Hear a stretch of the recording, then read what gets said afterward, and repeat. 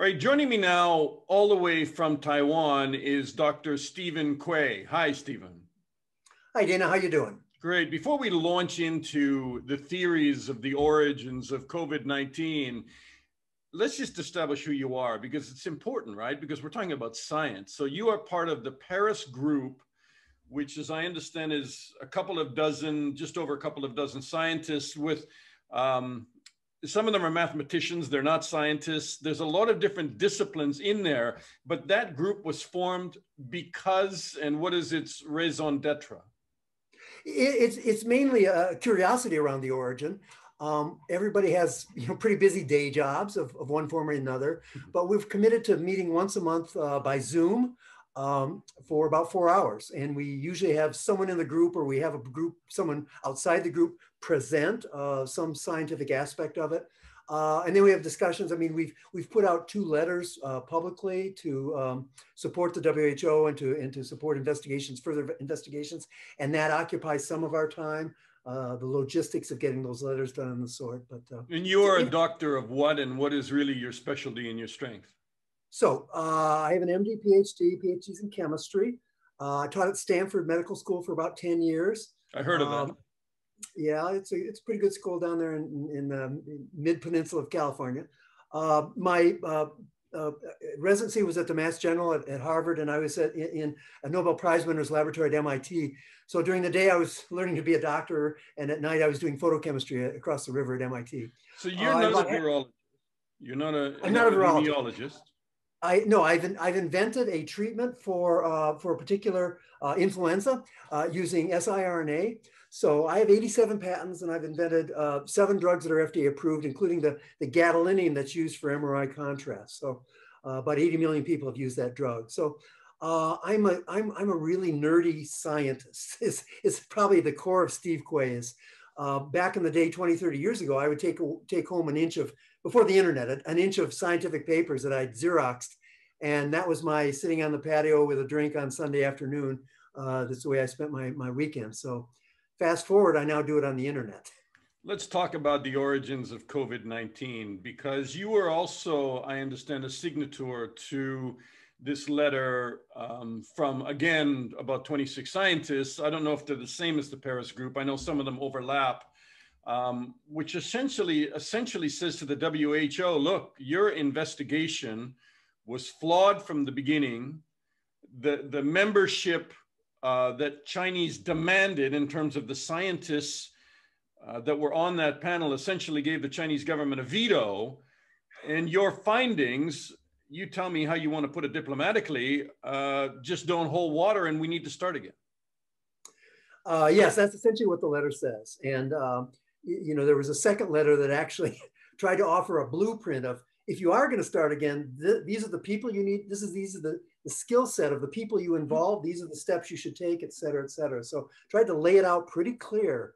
Um, so with any sort of impetus, they have they have the tools they need to to do it right a second time. Where do you line up on the theories? There there is one that says maybe it was in bats, and then it jumped to another host, and then it became um, you know, it, it, was then transmitted to humans and, and uh, was able to replicate in humans and grow. The other is a lab escape. Yeah. So um, I've written a, a Bayesian analysis uh, of what, uh, of those two theories. Uh, I uploaded it on Zenodo, I think in the end of January. It's been viewed 140,000 times. So just for perspective, I've written about 360 publications, scientific publications on various fields in that.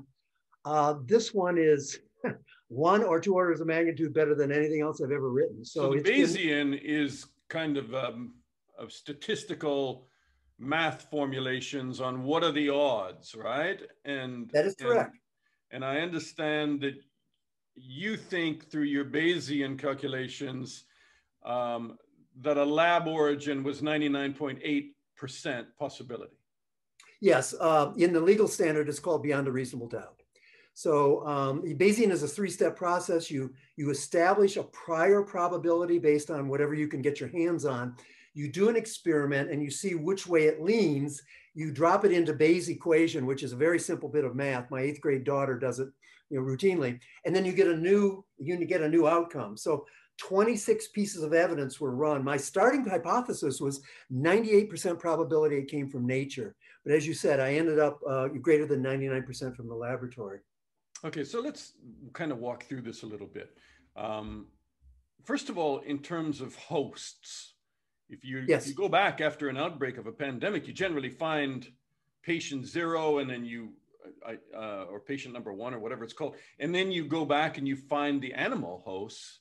Um, in SARS 2003, there was an, an, an, immediate host. That was a that was a cat. Yeah, it's called the civet cat. It was found four months after the first patient. Then in 2013 with MERS, a camel. That took 10 months, but you're exactly right. It was the camels. SARS-CoV-2, we're more than a year into this. 16 months, eight, 80,000 samples of various animals around China. I mean, one, one of the biases is that you, you absolutely know China has to be motivated to find it in nature, right? I mean, I think that's an intrinsic e either bias or preference. But so after testing 80,000 animals and not finding a single case of it, um, to me, that's one of the most screaming pieces of evidence that, that came out of the WHO study that really needs to be addressed. Chinese would say they just never came from China. That you need to go look in Thailand, in Thailand or somewhere else.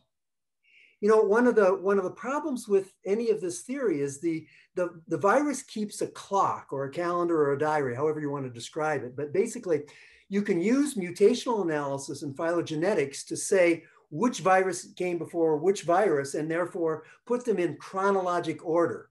Um, that is one of the important things I do in the Bayesian analysis is the, the genetic patient zero. I don't believe it's patient, I don't believe it is the actual patient zero because it's December 20th thereabouts, but was from a PLA hospital.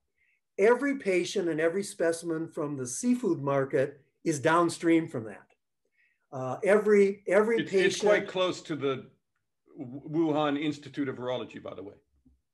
Well, they all are. Yes, I mean, I I, I actually did a separate another investigation where which concludes with what I call the line two COVID conduit, which is is basically looking at which hospitals where the December patients went, with the assumption that they went to the nearest hospital to where they live, kind of, mm-hmm. uh, and then which which of the nine subway lines they were near all hospitals were along line two, and that is a, like a one in an 80,000 probability. Okay, why is it important? Where does line two run to and from?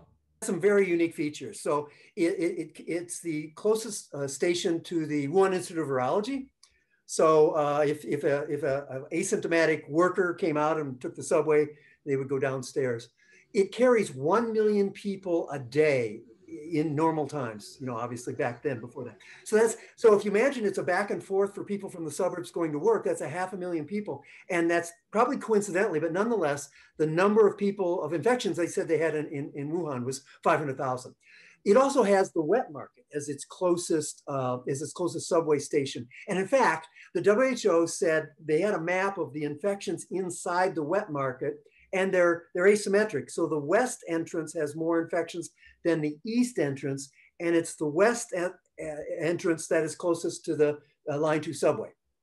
Now it gets really cool for amplification because the the next station from the from the from the wet market is the station where the high-speed rail goes. So from that station, you can go to any corner in China that the high-speed rail services in a matter of hours.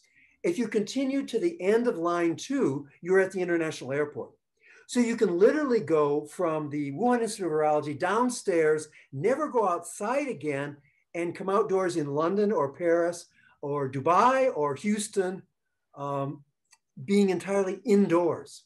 So uh, I'm, I'm really looking for someone to help me with an analysis show how much amplification that subway connection probably had. Because it's independent of whether it came from the market or the lab, it satisfies both of those.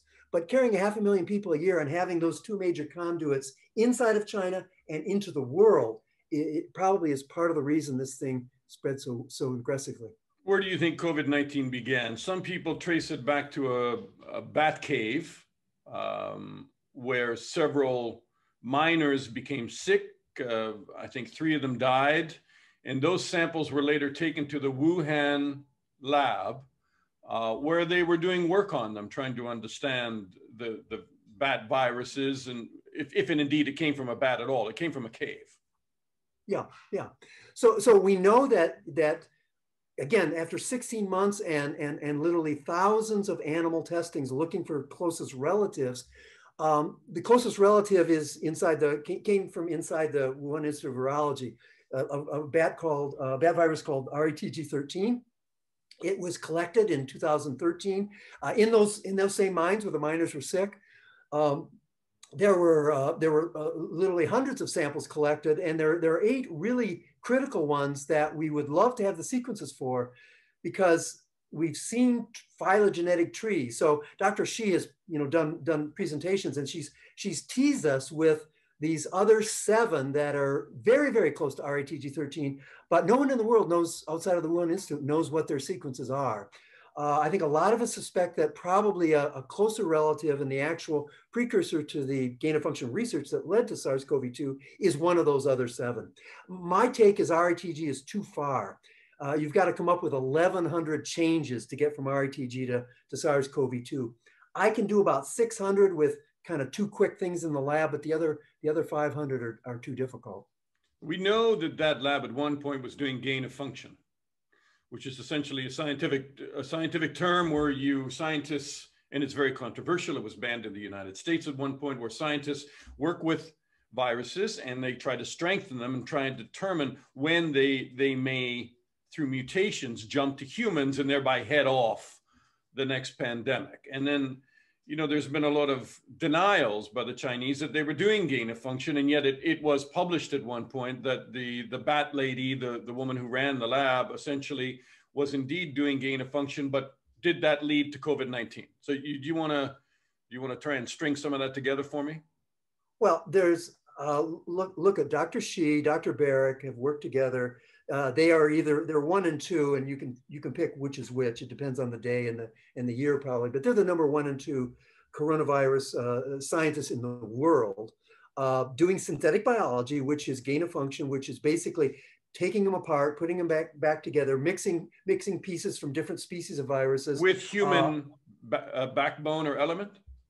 Well, well, well, with with with they're always they're always a bat virus backbone. So so this coronavirus, no matter where it ends up, started at some point in time in bats.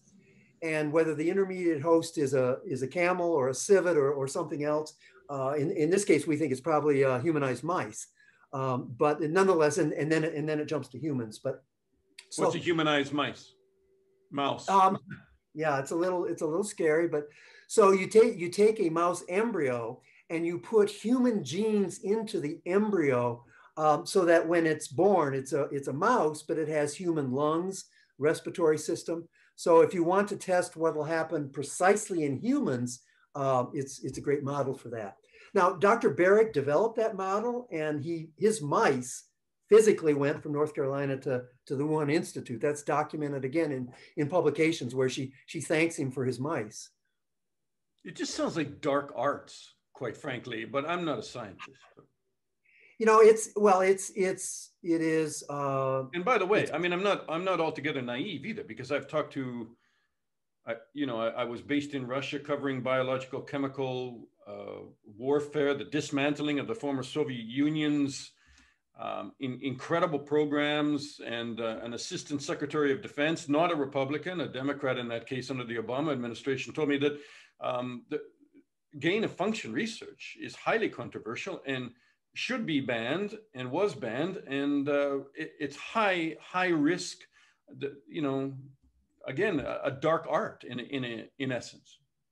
Well, it absolutely is. Again, in my Bayesian analysis, I talk about the fact that it's it, it's absolutely published for 30 years. There has been on average 0.9, so that rounds to one, one laboratory acquired infection per year in Asia. So uh, these are these are SARS-CoV-1, uh, you know, other viruses, one a year. So, um, you know, you're just playing Russian roulette with uh, the 7 billion people on the planet.